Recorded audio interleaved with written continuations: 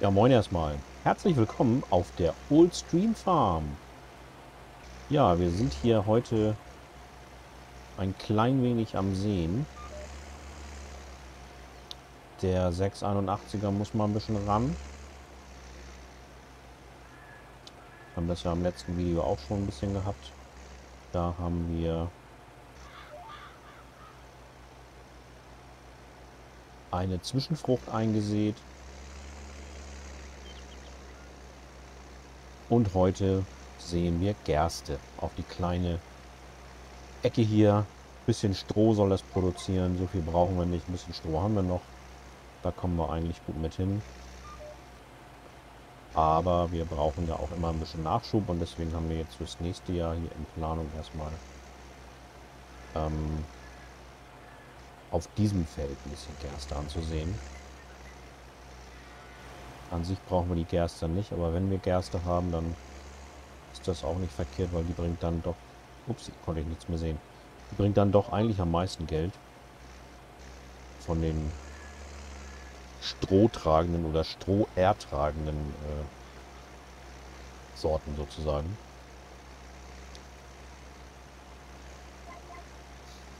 Ja, und dann äh, habe ich hier gleich noch eine ganz besondere Geschichte vor. Äh, das können wir, glaube ich, eigentlich auch jetzt mal direkt starten. Dann kann der hier erstmal mit Helfer weitermachen. Muss ich dann nur GPS wieder ausschalten. Und dann sollte das funktionieren.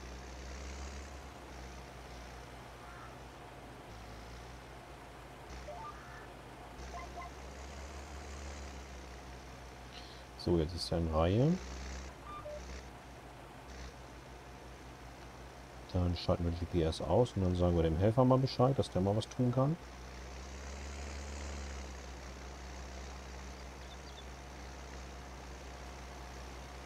Ja, der tut offensichtlich. Und wir beamen uns jetzt mal zum Shop. Da haben wir nämlich was Neues.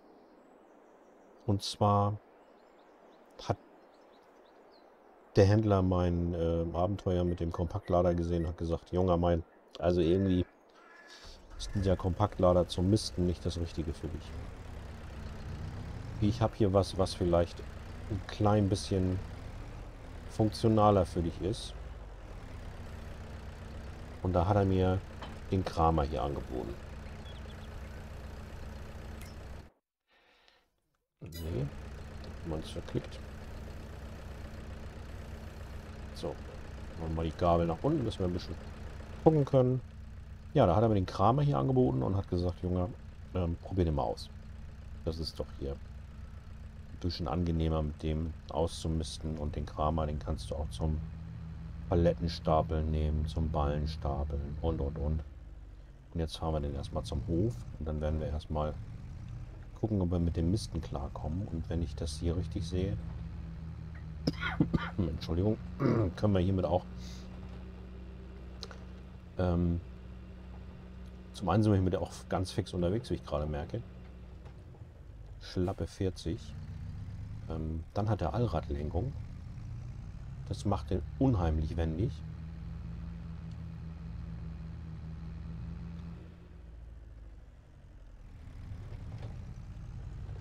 Und dann müssten wir, jetzt wenn wir gleich am Hof sind, können wir das mal ausprobieren. Oh, da ist mein Hahn. Oh, da hat doch das Huhn gerade einen Regenwurm rausgezogen. Habt ihr das gesehen? Also für mich sah das wirklich so aus, als würde ein Regenwurm rausgezogen werden. Guck mal, der, der fährt hier so eng um die Ecke, da muss ich sogar noch mal ausholen. So. Dann wollen wir einmal die Gabel wieder hochkippen. So, das können wir so machen. Und ähm, rauf und runter geht so, aber ich meine, ja, der hat nämlich auch hier diese Teleskopgeschichte. Und da kommt man, glaube ich, richtig, richtig hoch mit. So. Ne, kannst du hier eine Parallelführung, das ist auch echt gut. So, und jetzt, äh, jetzt gehen wir mal raus. Guck mal an, wie hoch der kommt. Das ist ja Wahnsinn. So, dann wollen wir mal gucken. Man kann, glaube ich, auch die Allradlenkung ausschalten. Ja, das geht auch. Brauchen wir jetzt im Moment nicht. So.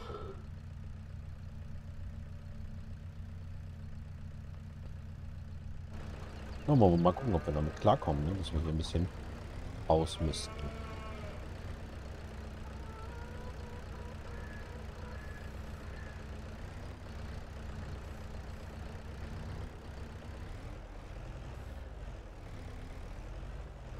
Ja, gut zu tun.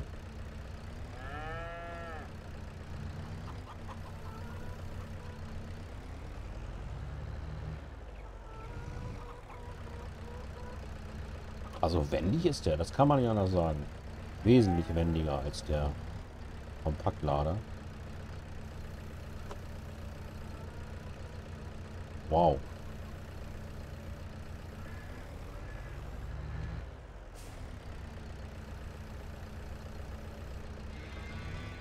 Und was halt eben auch gut ist, der hat hinten ein paar Steuergeräte. Kannst du dann auch mal noch mal was hinten dran hängen und äh,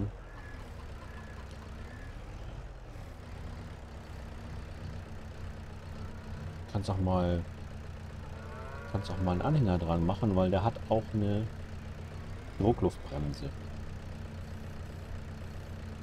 So, erstmal wieder justieren lernen hier.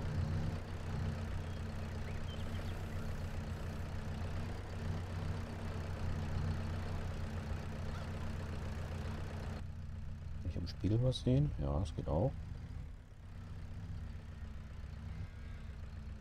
Da ist der Anhänger, Vorsicht.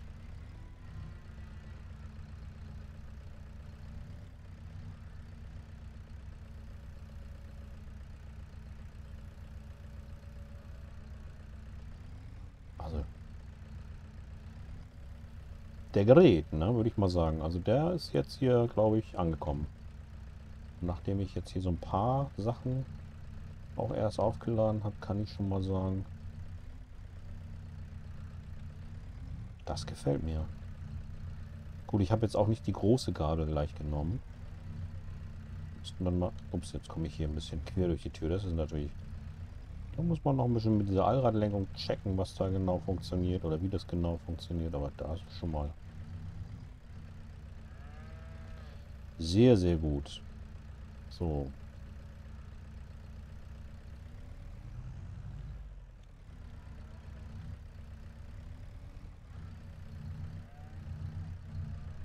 Ja, was meint ihr? Bleibt er am Hof? Ich finde den gar nicht schlecht. Jetzt habe ich die Gabel falsch gekippt. Wenn man im, im Gerät sitzt, in Cap View sozusagen, dann ist das doch alles ein bisschen schwieriger. So, hier kommen wir durchs Tor. Gerade, gerade so rum. Ne, wir fahren schon wieder schräg durch die Tür. Nach Spiegelfahren ist im LS auch nicht gerade der große Kracher. Anhänger. Links im Spiegel zu sehen, der Miststeuer.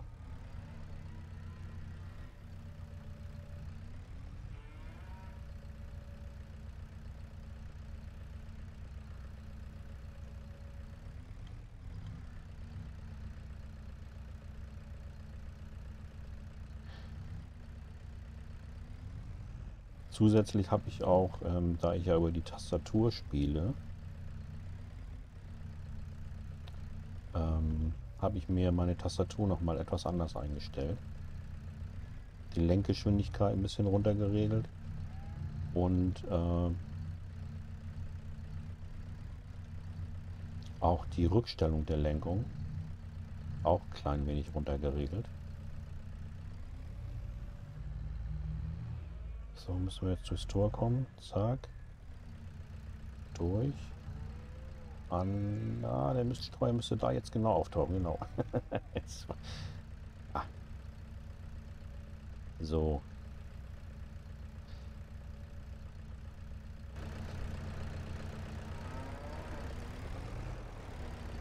Da machen wir jetzt mal direkt was, weil Der hier hat zwar keine Zapfwelle, aber er hat zumindest die, die Bremse und die Aufnahme. Das müsste eigentlich passen. Weil warum stelle ich den... Ja, ist ja gut. Warum stelle ich den Miststreuer hier hin?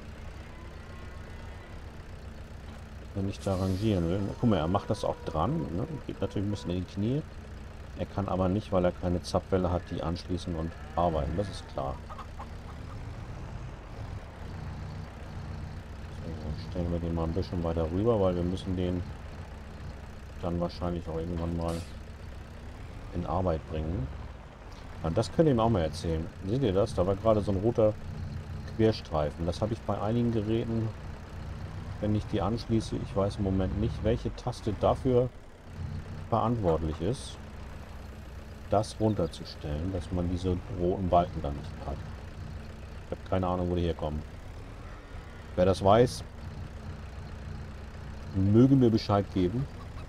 Entweder in den Kommentaren unten oder auch gerne per Discord. Kein Problem. So,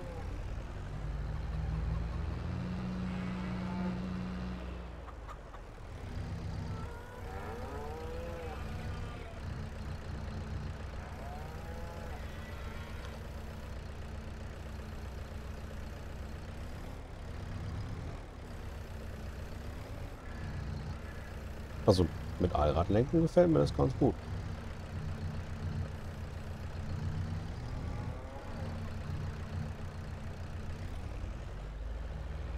Man sieht nur nichts, wenn man nicht hinguckt.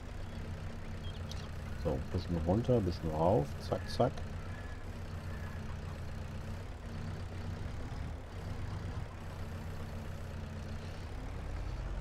Das war The Rest vom Schützenfest. Haben wir das doch. Ja, schönes Ding.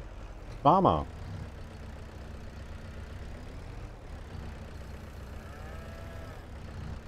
Ich muss sagen, das gefällt mir, ups, das gefällt mir auch äh, deshalb so gut, weil es eben kein Knicklenker ist. Ne? Also Knicklenker, muss ich ganz ehrlich sagen, ist nicht meine Welt. Mit Knick Knicklenker fahren No way. Vorhin auch noch mal ausprobiert ähm, in einem Testspiel. Ging gar nicht. Absolut nicht mein Ding. Warte mal, die Tür geht nach innen auf, ne? Oha. So. Sicher rüber hopsten. Kann ich die Tür aufmachen? Nee, die geht doch nach hier auf. Habe ich mich da so getäuscht? Ja, da muss ich dem Händler wohl Bescheid sagen, er kann Nummernschild fertig machen.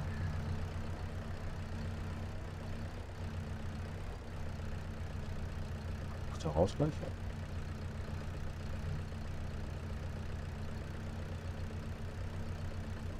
Prima.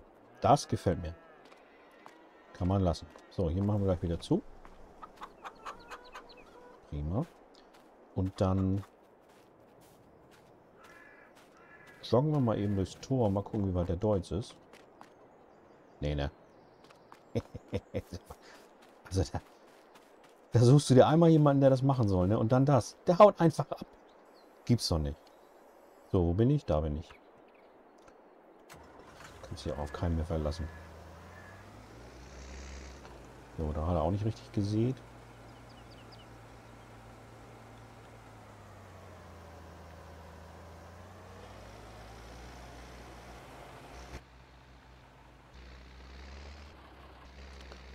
Ah, ist natürlich auch scheiße mit den Bäumen hier, ne? Die sind natürlich echt sehr dicht.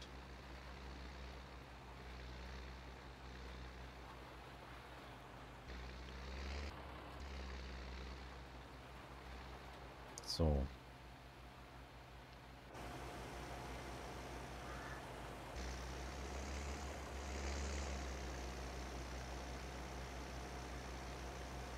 Ziehen wir jetzt gleich ein zweites Vorgewende entlang.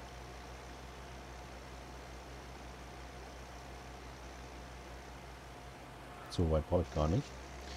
Ich brauche ja nur bis da vorne.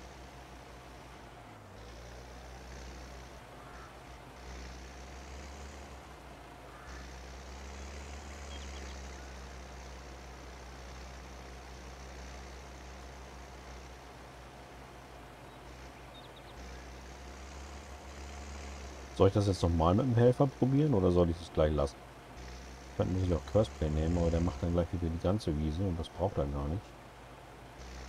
Weil wir jetzt schon ein Stück gemanagt haben. So. Jo. Habe ich mir gedacht.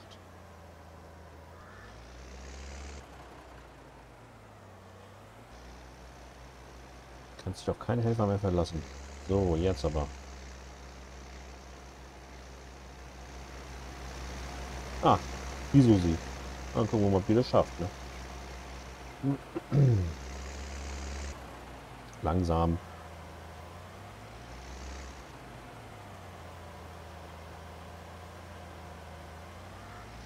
Ich kann da nicht hingucken. Lassen wir das. Lassen wir die mal machen. In der Hoffnung, dass es klappt. So. Und dann haben wir den Kramer geholt. Wir haben sie auf Tour gebracht. Dann müssten wir jetzt eigentlich... Eigen. Hallo? Diese Hühner sind auch geil. Naja, dann müssten wir jetzt eigentlich gucken. Wir könnten, wir könnten einige Sachen verkaufen. Da müssen wir mal gucken, ob das der richtige Zeitpunkt ist.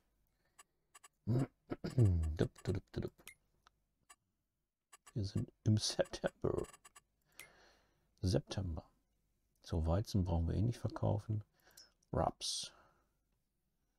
Raps können wir im November gut verkaufen. Da müssen wir noch zwei Monate warten. Sorghum im Januar. Eier auch im November. Milch ist jetzt ein guter Preis. Wir können aber auch bis Februar warten. Aber ich glaube, dann ist der, ist der Tank voll.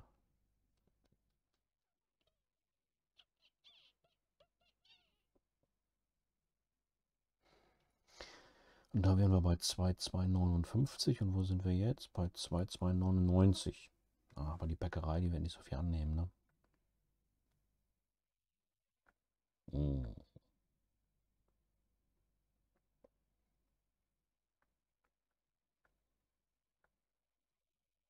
Wisst ihr was, wir fahren einfach mal ein bisschen Milch weg. Das kann doch nicht schaden. Dazu juckeln wir mal hier oben drauf. Hier steht noch der Case vom Düngerstreuen. Der musste auch vorhin mal ein bisschen arbeiten. Ja, ich schmeiße ihn jetzt an.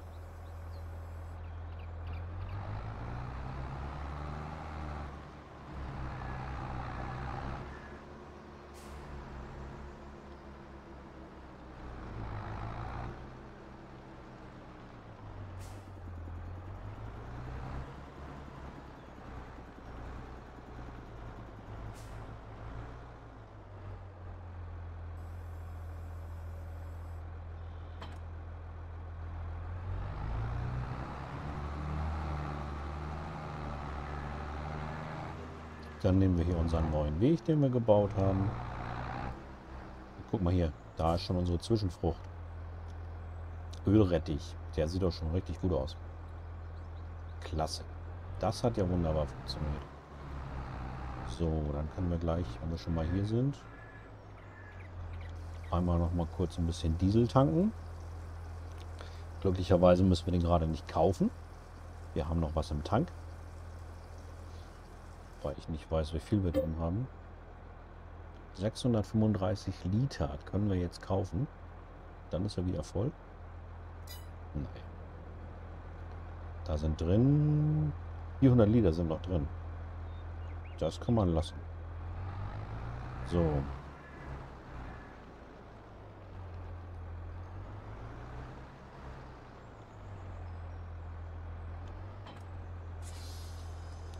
Schon mal den Deckel auf. Ist da noch Wasser drin? Warte, dann müssen wir einmal... So, dann haben wir das Wasser raus.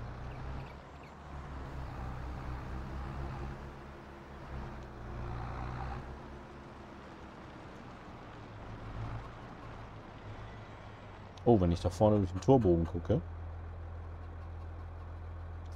dann könnte das mit dem Helfer geklappt haben. Mit Susi. Jetzt mal gucken, ob Susi jetzt wieder am Baum klebt. Ja, oder ob sie noch fährt. So wie es aussieht nicht, weil irgendwann müsste ja dann mal vorbeikommen. Ne? So, Klappe zu. Und dann gucken wir einmal. Ich weiß gar nicht, wo die Bäckerei sitzt hier oben. Markierung setzen. Da muss wir hier irgendwo blinken.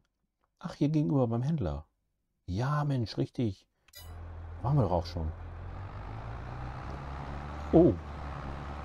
Wenn ich durchs Tor gucke, dann hat Susi scheinbar... Dann hat Susi scheinbar fein gearbeitet. Und ist jetzt fertig. Ehrlich. Naja, bis auf die kleine Ecke hier vorne, aber... Das ist auch nicht verwunderlich. So. Dann hop sich mal kurz rüber.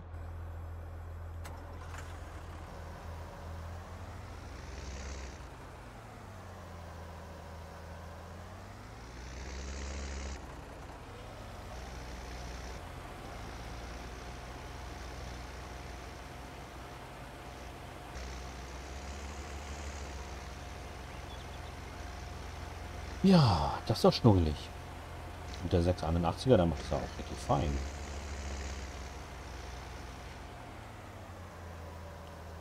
So, jetzt nehmen wir mal... Jetzt nehmen wir mal, gucken, ob das geht. Ob wir das zurechtkriegen, dann packen wir den nämlich mal zur Mitte des Hofes. Hof zentral mit Autodrive.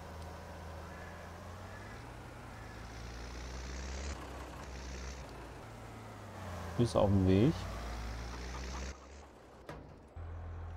Und wir fahren schön zur Bäckerei mit unserer Milch und dem äh, ganz leisen Case.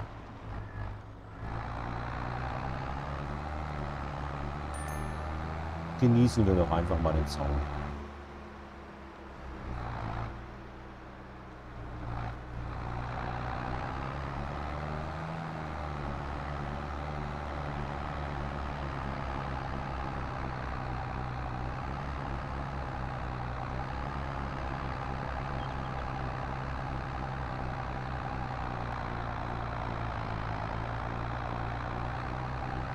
Na, haben wir ein bisschen Schwierigkeiten?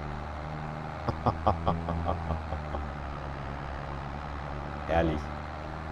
Herrlich. So, wollen wir hier mal abbiegen.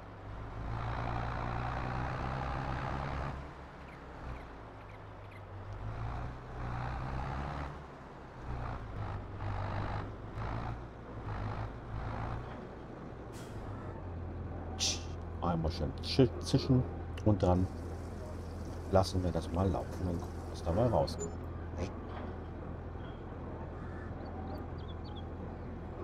Warum hat er aufgehört? Weil der Bäcker mal wieder nicht mehr nimmt. Ne? Genau das ist nämlich das Problem. Der Bäcker nimmt einfach nur ein paar tausend Liter. Der nimmt nicht genug. Aber dann fahren wir jetzt nochmal zur Molkerei runter. Schauen, wo die dann ist. Das blinkt genau auf der anderen Seite. So, machen wir den Berg wieder runter, ne?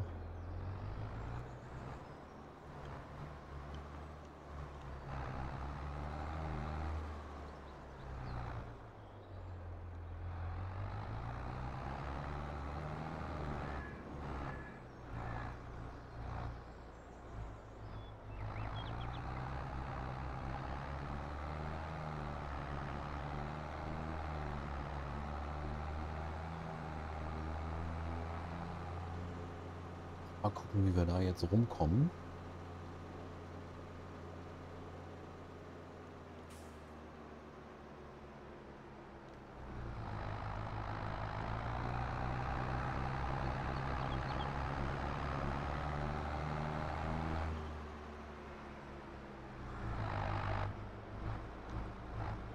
Machen wir einen kleinen Ausflug.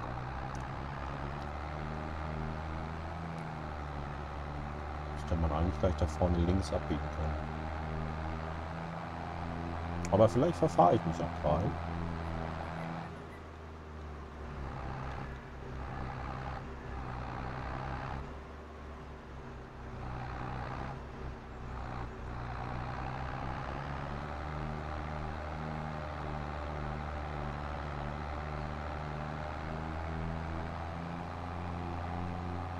Schöne Gegend hier. Wirklich schöne Gegend. Ich mach mal das Menü weg, dann kann man auch ein bisschen besser, ein bisschen besser gucken.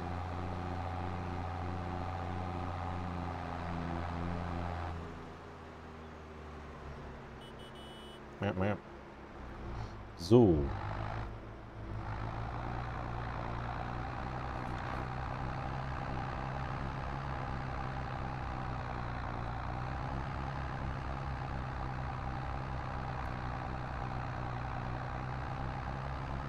Ein bisschen zu kämpfen, ne? Obwohl er eigentlich Power genug hätte. Ne? Berg hoch ist aber dann doch so, so eine Sache. So.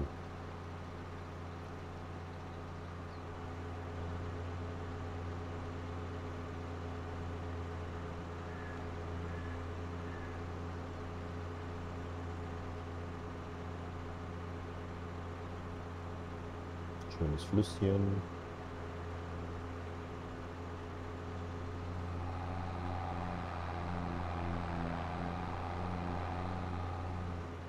Halt, stopp, stopp, stopp, stopp, stopp. Steht da auch dran, extra ein Schild. Da geht's zur, da geht's zur Molkerei.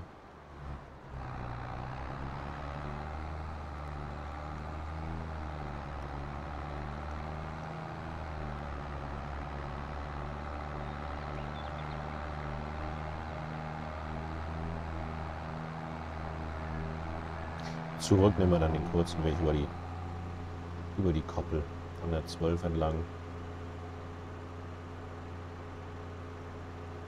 So.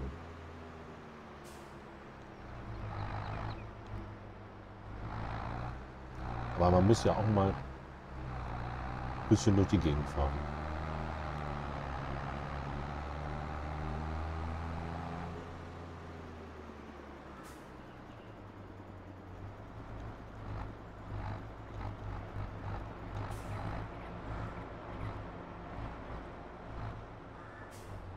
So, das waren gerade eben schon mal 4700.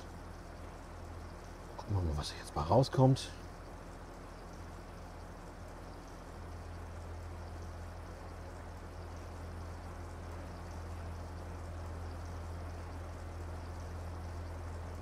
Läuft ja ganz ordentlich. Ne?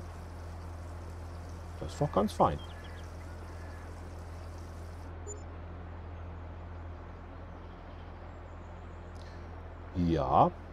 Lecker. 34, also fast 35 plus die 4,7 gerade. Also mal gute 38.000, die wir da eingesackt haben.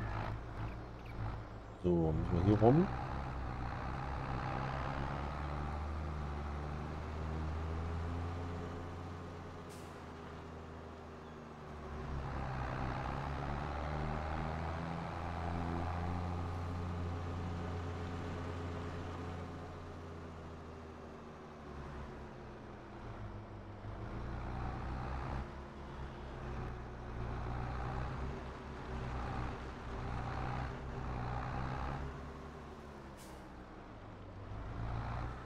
Den stellen wir mal wieder oben hin. Da steht er eigentlich am besten. Oder ich fahre ihn hier rein. Das kann ich eigentlich mal machen. Ich kann ihn eigentlich mal hier reinstellen. Weil unsere Silage, die ist ein bisschen durcheinander geflogen. Die werden wir hier jetzt eh nicht ab abliefern.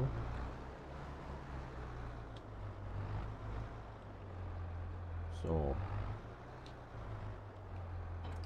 Kann man lassen.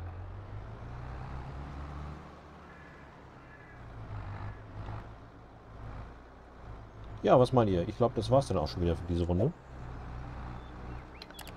Hier ist die Silage ein bisschen durcheinander geflogen. Ich habe es versucht, wieder ein bisschen hinzukriegen. Aber ich würde sagen, die fahren wir dann in einem der nächsten Videos mal weg. Und gucken, was wir dafür rauskriegen. Also, vielen Dank fürs Zuschauen. Ähm, habt eine gute Zeit. Wir sehen uns im nächsten Video, wenn ihr Bock habt. Und äh, passt gut auf euch auf. Bis dahin, euer Enzonator. Tschüss.